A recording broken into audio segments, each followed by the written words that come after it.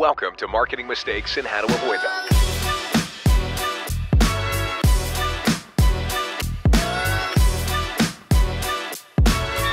Here's your host, Stacy Jones. Welcome to Marketing Mistakes and How to Avoid Them. I'm Stacy Jones, and I'm so happy to be here with you all today. And I want to give a very warm welcome to Michael Buzinski. Michael is the CMO of Buzzworthy Integrated Marketing, where they focus on the integrated marketing needs of privately owned businesses. Whether that be through website design, Google Ads, or SEO, they help their clients build a stronger online presence and have helped over 750 service based businesses. Michael has also been recognized by the American Marketing Association for his work as a visionary marketer and is the best selling author of The Rule of 26, where he shares insights on how to double a website's revenue for those service centric businesses I mentioned. Today, Michael and I are going to be chatting about ways that businesses and entrepreneurs can gain a better understanding of digital marketing and how they can increase their online presence in a way that is simpler and more profitable. We're going to learn what works from Michael's perspective, what should be avoided, and how some businesses just miss the mark. Michael, welcome. So happy to have you here today. Thank you, Stacy. That was awesome intro. Before we dive in, I always like having our listeners learn a little bit more about our special guests. So, can you share with us how you got to where you are today, where you have now written a best selling book, which is congratulations, right? Thank you very much. And your digital marketing expertise has something to do with that, which I'm sure we'll dive into. And then you've also created, you know, a business platform where you and I were talking before the show about service centric versus service mm-hmm. businesses based businesses, but you've created an opportunity to help hundreds and hundreds of businesses mm-hmm. better find their own you know perfection in this world of marketing so that they could grow. Um, yes. so how'd you get here? Oh how long is this podcast? Uh you know how you fall into things? I i slowly in the matrix of falling uh got into where i'm at today. Um i was actually an air force brat as a child and moved around a lot and and I got into sales and marketing in California, where I, I did most of my growing up, and uh, worked for some very large corporations. Um, ran up a couple of corporate ladders, found out that that wasn't for me, but I needed to get out of California and then kind of discover the rest of the world. So I became the third generation of my family to join the Air Force. During that, I got more exposure to the world and uh, also failed at becoming a famous rock star, which was actually my childhood dream. Um, so not getting there, um, I got out of the service and I started my own recording studio. And that's how Buzz Biz started. That was my first public company. And, and within a year, I realized that uh, surviving off of starving musicians was a horrible business plan. And so I pivoted quickly into media production for small to medium sized businesses. And over the years, we uh, became a full creative agency. We we're actually a multi seven figure creative agency uh, big staff, big facility, the whole nine yards. Um, but I found myself getting pushed further and further away from the people I was trying to help, where I where I actually wanted to go.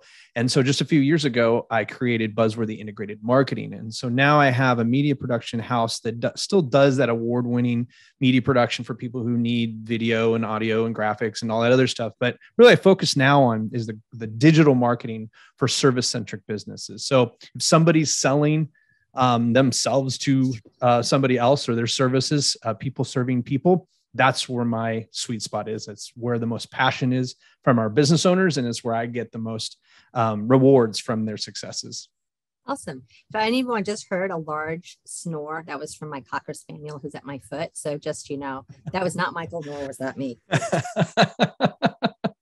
so that's a journey a military brat to aspiring rock star to you know digital guru. That's that's pretty much your your whole line that you've gone. There yes. It actually started on a farm. I was actually a farm kid before there you go. yeah so it even it goes further back so with what you were doing you know we started off the conversation and i realized my intro you know we were adjusting a little bit on your bio uh, saying something that was service based versus service centric and i missed a spot to update that but that's okay because i want us to dive in like what is the difference between a service based and a service centric business? So i have recently learned that service based businesses are usually the service base is like home uh, uh, services. So mainly HVAC, heating, and plumbing as the main service based. Uh, some will uh, put in electric electricians, um, but that's about it right there. And so I was actually on another podcast, and they were for service based business. So I got all excited. I'm like, oh, cool. We had we had people talking about people serving people. So it was this whole uh, synergy going on, all this stuff. And then this guy gets on and is like, yeah, so these HVAC guys and blah, blah, blah, blah. blah. And I'm like, okay, I, have worked with a lot of heating and cooling companies. This is fine. We're, yeah, we can roll with this. And both of the hosts are, come from HVAC, heating and plumbing.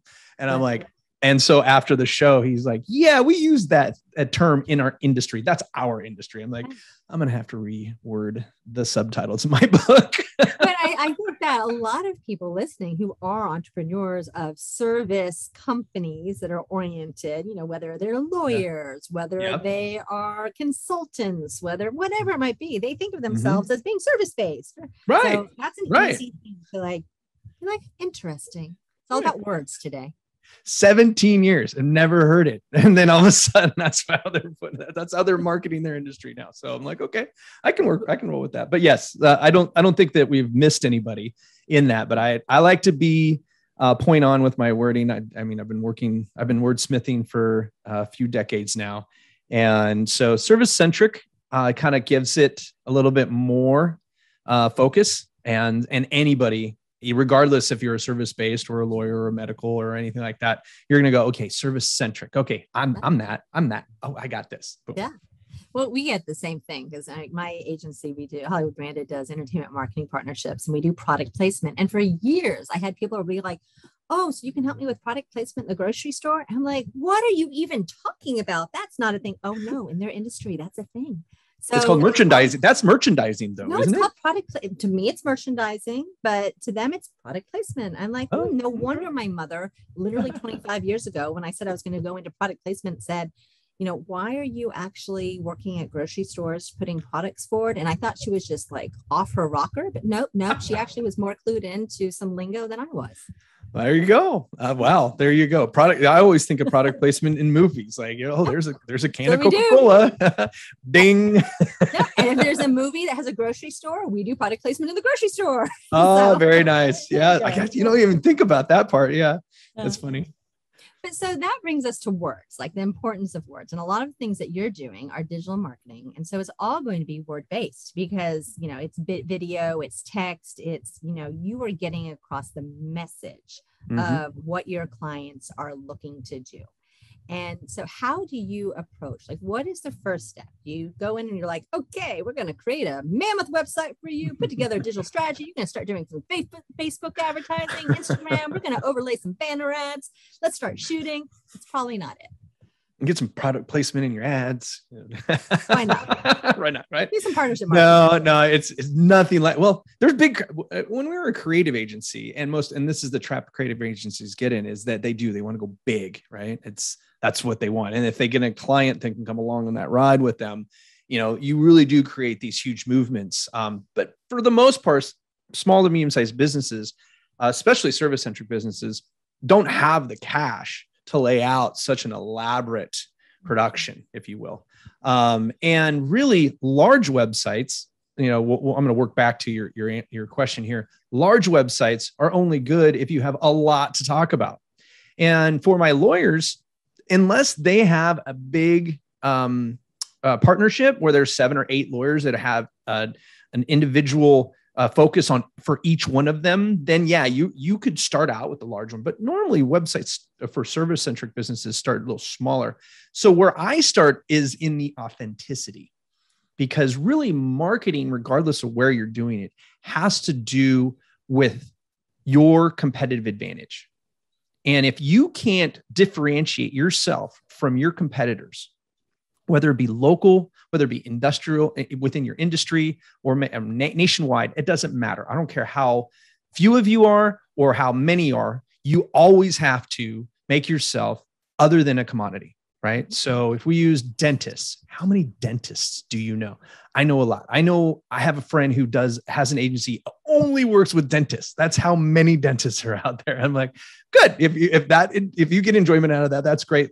These dentists need it, right? But how do you make each one of those dentists very special? Yeah. You know, because if you don't find that competitive advantage, you're never can connect with your perfect client. And that's where my my sweet spot is. Let's find where your most profitable and rewarding business comes from because I learned very early on all money is not good money. And it is it is good to fire bad clients. I don't care how much you need to pay rent. Sometimes I, I remember losing clients that I thought I could not live without and realized that I should have fired them long before um, we parted ways. And so that really is where we start is what is your story? And then we can decide how we want to tell it, where we're going to tell it, and to whom we're going to tell it to. And so when we're dialing in to the fact that you are a best selling author, rule of 26, right? Right. What are the rules that support that? Like, how, what is the approach that you need to actually do that keep in mind as you know you're figuring this out of Mhm. who your perfect customer is, how to get rid of the crappy ones, and who you are actually as a business. So all of that that we just, you know, me answering your last question was really talking to one of the rules. There are three objectives within the rule of 26. So let me start with what the rule of 26 is first, and then we can go from there. So the rule of 26 is a 15 second website marketing strategy. I found that a lot of creative agencies and ad agencies and digital agencies, agencies in general, like to spend a lot of time because they get paid by time creating strategies. Mhm. And they're very strategy centric instead of objective centric. Object objectives feed results, strategies feed ideas, right?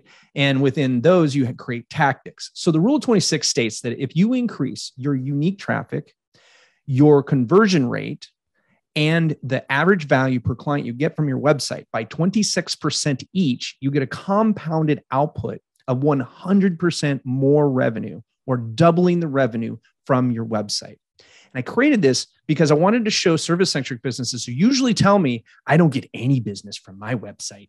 We are we we survive on word of mouth and referrals. I'm like, ouch. So you are That's just.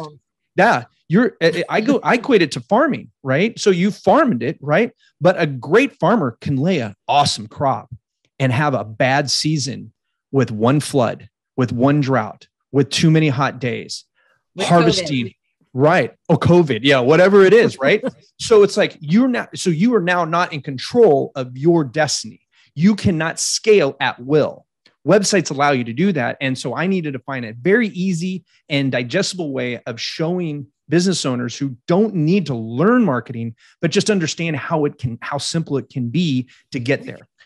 And so that that what we were talking about before feeds into that average value per client, um, average revenue per client. Because if you're serving your niche where you're getting the most profit and most rewards from serving your perfect client, you're you're going to be able to charge more and you're going to be able to retain your clients longer, right? And so that's that's one of them. And in conversions, we look at the website. If do they have a, a, a website now? are they even tracking conversions right a lot of people don't even know what they what they're getting from their website except for well i think we get a couple of emails every once in a while no how many people does it take to get somebody to reach out to you that's a conversion rate right and then once we understand that we can push traffic in and in that traffic we need to make sure it's good traffic not garbage traffic we don't need to waste our time with bad leads because it's just going to bring your conversion rate down it's going to burn your resources, time, energy, and money. And so that's where I kind of come in and make sure that all of those cylinders are hitting them all at same, uh, all in synchrony. And I know we can use tools like Google Analytics. There's Yes. no fee to, so that anyone out there, all of our listeners, they can add Google Analytics to your website. If you haven't, you should. Yes. Like step one. But you know, even if you have Google Analytics, you could be like, oh my gosh, look at all these people who are coming to my website Mhm. and nothing's happening. Like they come and they bounce. And what's a bounce? Oh, Yeah, they're right, yeah. gone. They're here. Yes. So, how are you helping your clients understand what actually gets some sticking power and how to actually, you know, channel that marketing messaging to impact their brand? You asked a lot there. That is a huge question. I Thank you for that. So the first thing is when we we look at our analytics is that nine times out of 10, you haven't filtered your analytics down to actual human beings. Mhm. There are these things called bots that come and crawl our websites every day, thousands of them a month.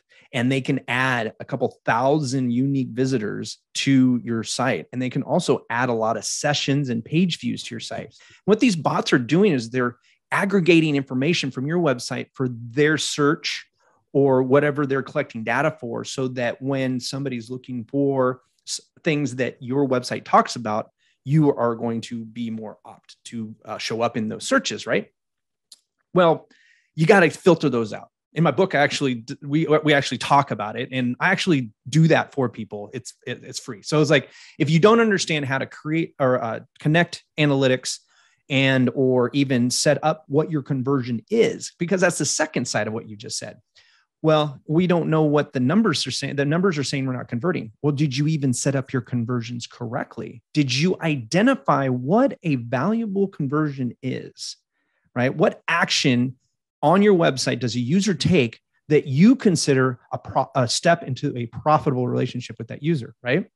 So the, between those two right there just identifying good traffic and clean data and identifying the, what actually happens, uh, what, what actually needs to happen to be considered a conversion, then we can start looking at, well, why aren't people doing what we've identified if you're in fact not getting conversions, right?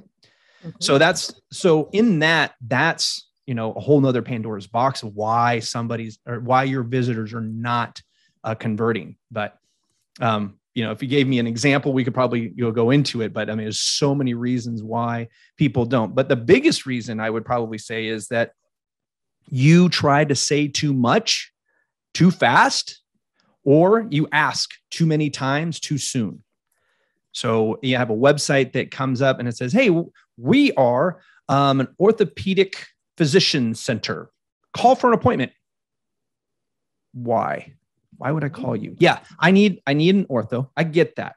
But i'm looking for the one who's going to make my knee better and I need to understand why you are that person or your team is that team that I'm going to trust my mobility with. Right. So asking too soon. And then you have the other way where people will rant on and on and on and on and on about themselves and then never ask for a call to action. Right. And there's two things wrong with that. One, you didn't give them an endpoint to where you tell them what you want them to do next. Right. And two, you talked about yourself fastest way to drive people away from your website is continue to talk about yourself. Those are the two big ones. You mean uh, so? What you're trying to say here is that when someone comes to your website, that they care not about themselves and the end result. They only care about whatever you're trying to like shove down their throat. They're not looking for solutions. They're not looking for ideas. Right, exactly. I mean, people are selfish. The, reason that they're searching is because they have an issue or they have a desire. So they're defining out whether you are going to solve their problem or uh, deliver what they desire. Right. And so if you make it about them, and you can see it right on my website, I, I practice what I preach. Right. The first thing I talk about is that most businesses are frustrated that they can't get a predictable revenue from their website. And we have a process of creating that predictable website for them. And the next thing we talk about is how we can help you. And right across the top is a needs based menu. I need help with the website. I need help with search engine optimization. I need help with social media. I need help with reputation management. All of the tactics that go into the rule of 26 and in doubling our revenue. But make it about them. Yeah. Always. yes. you you you talk to them like have a conversation over it's you have a salesperson that's called a website that works 24 7 365 never takes vacation doesn't ask for a raise and doesn't take sick days Like you now, and you get to program exactly what it says every single time. Why aren't you taking advantage of that? Well, I think a lot of the reasons why people are not taking advantage of that is an error that they have where they think that giving away information and insights for free are then just going to enable that person who's coming to visit them to just do it all by themselves. And the rough thing here is, is they're always going to do it by themselves if they never had an intention to purchase from you. So 100%. why don't you establish credibility and expertise by showing what you got and getting people to be comfortable and confident that when they bring to you their royal mess of whatever they have right. that you are that provider that service professional who's going to get them unwound from it and set up correctly. Right. And that and that misnotion that notion sorry that notion has been disproven time and time again. And i'll use Houzz as a great example Houzz and Pinterest is another one where you can find out how to do all of the cool crafts or all the cool upgrades to your house and remodeling and all these things, right? And then why is it that they list like the professionals who did the design or professionals who can install the cabinets that you love and the professionals who do this and do that? Because when you, most DIYers get about halfway through, realize that they're way over their head and now they got to get professional help right? So even if somebody came in as a DIYer, which is not your perfect client, so you don't want them to reach out to you because they're going to be a waste of your time. Do not try to convince somebody who they are not, right? If you're not a buyer, don't try to convince them that they're a buyer. Go to somebody who actually wants your help, right? And you do that by offering up a lot of free information, right? Me, I have my book. My book is the information that gets you in the door. Do I ask for a little bit of money for it? Yeah because I want to, my perfect client is willing to invest because to be successful in marketing does take investment. It's your investment, it's your business. You're going to get the lion's share of our work, right? And there are other professions that are like that.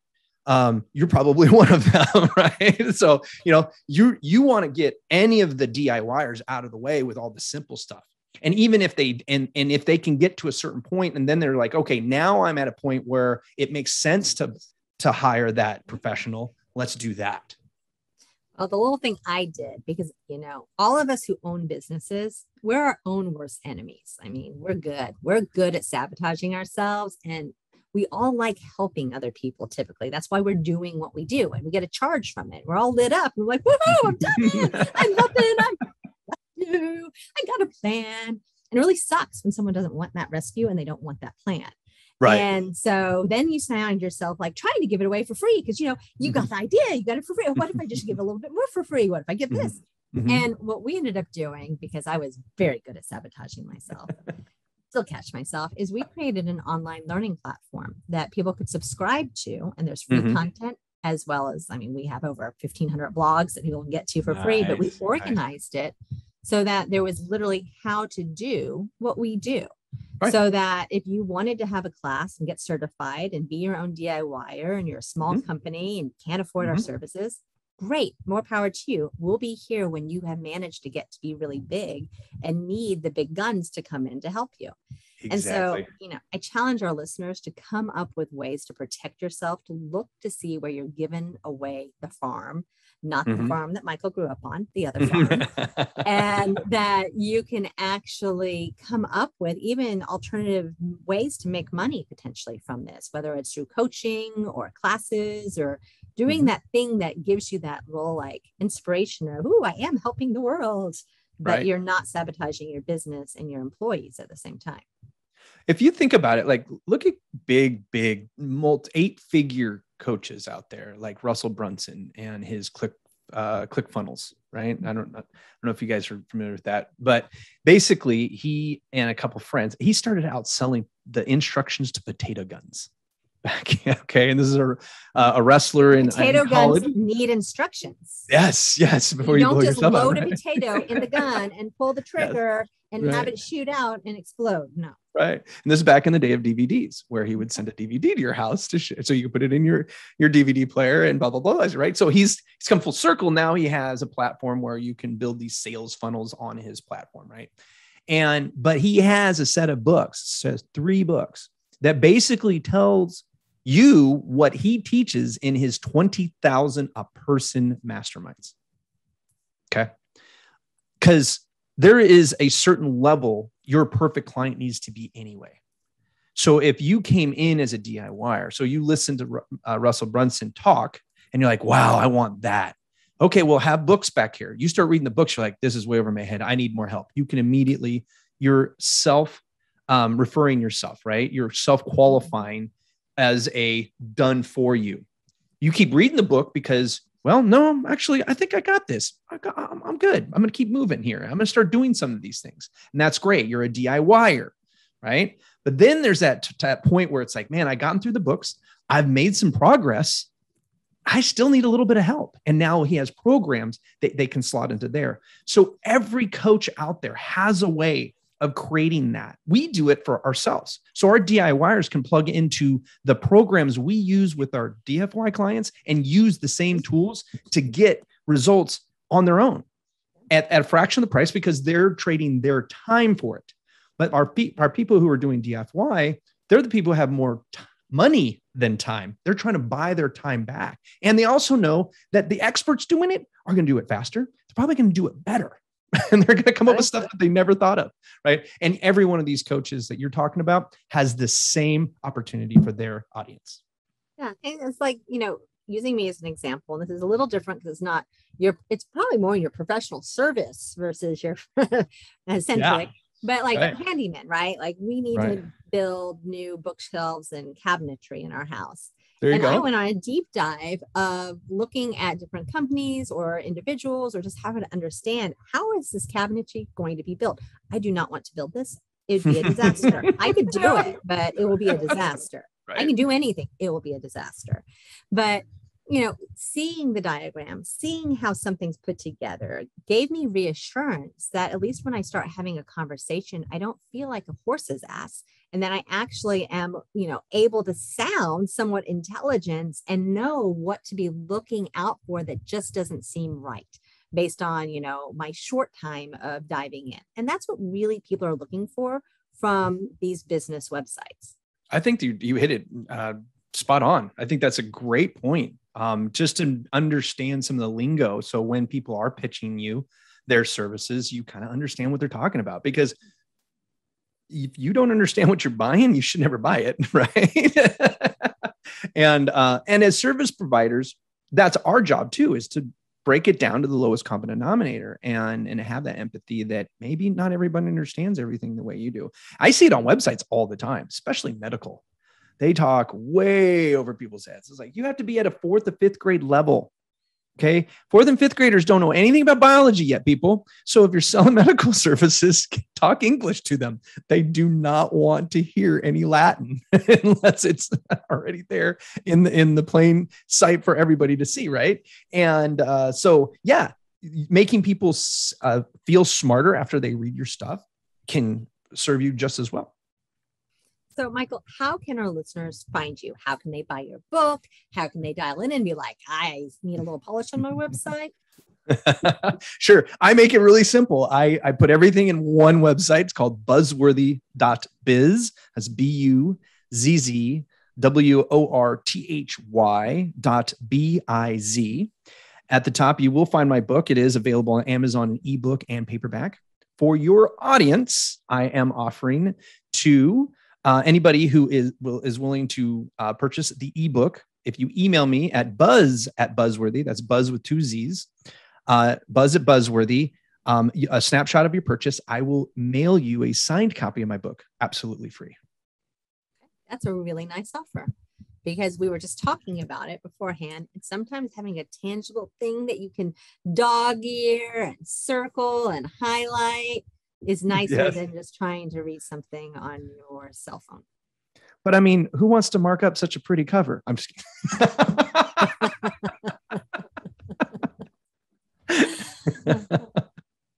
awesome. Yes, everything's there. Um, and if you have any questions uh, about anything we talked about, I've given you my email. That is my direct email. I answer the, every single one of those myself. That's fantastic. So, what is the next step that your book reveals? You said that you know there's three basic foundations, so mm-hmm. we don't mm-hmm. have to go through all of them. So we can leave people learning, waiting, learning a little bit more. but what else is really important to keep in mind? So, um, one of the things that I, I point out in the book is that digital marketing does not uh, is not successful in the void on its own. Okay, it does not perform in a vacuum. Okay, um, a lot of people try to rely wholly on and put all their eggs in that basket, and in business, we know don't put all your eggs in one basket. Solopreneurs suffer that the worst because they are the egg in their own basket, right? right. And so one of the stories I talk about is guerrilla marketing. Um, and when I was just starting out, I actually grabbed about 500 tri-sided Bic uh, ballpoint pens. Mm-hmm. And on one side, I put my logo, uh, my, my business name and logo. On one side, I put my slogan. Back then, it was "Be Seen, Be Heard." And then on the other side, I put my website. And people are like, why didn't you put your phone number on there? I was like, because I'm going to leave these everywhere that people don't know who I am. And they're like, what are you talking about? Why are they like, going to well, call you? Yeah. And then why are you going to call? Well, and the barrier, like when you call somebody, you usually have a purpose, right? And it's like, what are you going to call somebody? Go, so I got your pen here, and um, I don't know what. Uh, so what do you do? Like, you're not doing that. Yeah. Nobody's. But they'll go to a website and, and stalk you, cyber stalk you, and that's great. That's what you want. And it took me about 16 to 18 months later I was I was handing them anybody needed a pen I would I would let them keep it after they used it. I signed bills at restaurants or if I was uh, filling out a form at a medical place wherever I could use a pen I always leave, left it behind. Mm-hmm. and in a, in about 16 18 months I started seeing my pen in places I'd never been before.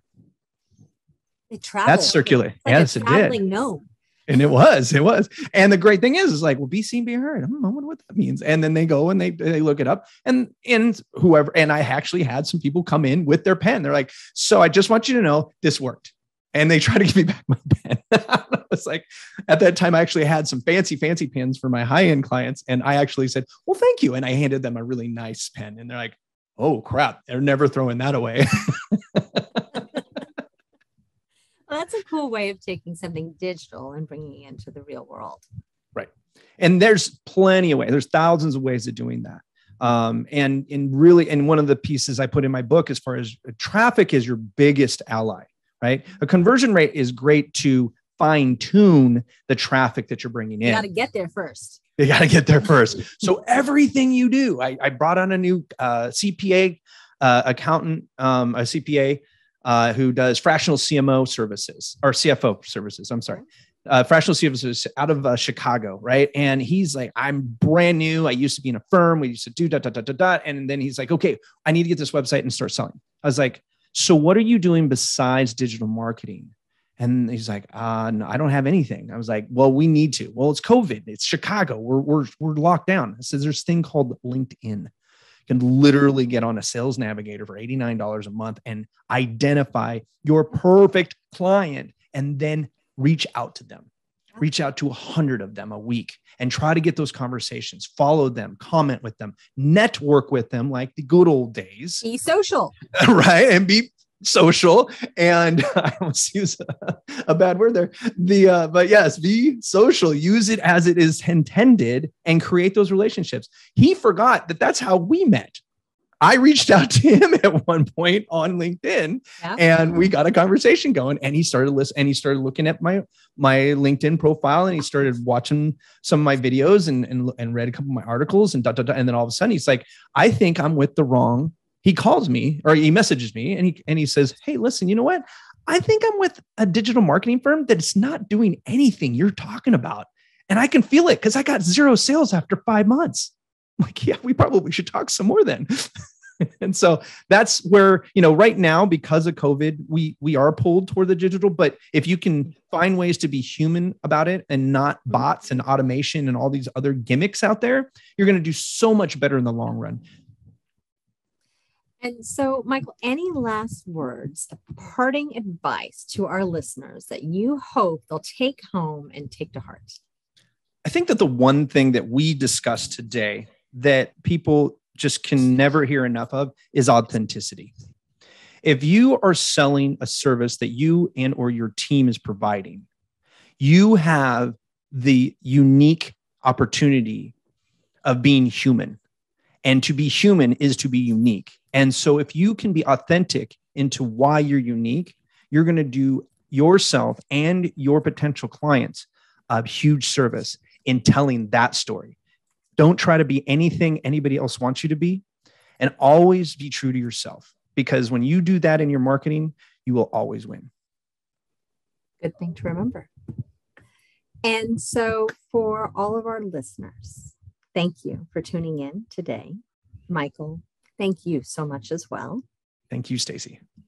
And for everyone, I look forward to chatting with you on a future episode of Marketing Mistakes and how to avoid them. And since we talked about it today, if you do have interest in product placement, celebrity influencers, anything along those lines, we have a chock load of classes at learn.hollywoodbranded.com, like a ton free go. classes, paid classes. So certainly go over there. You can check out my attempt to protect me from those who are still in the DIY world. um, and Michael, I really do think that you know you shed on a lot of light on how people need to switch their perspectives and reapproach their service centric um, businesses to make sure that it's not about me and it's more about how I can help you.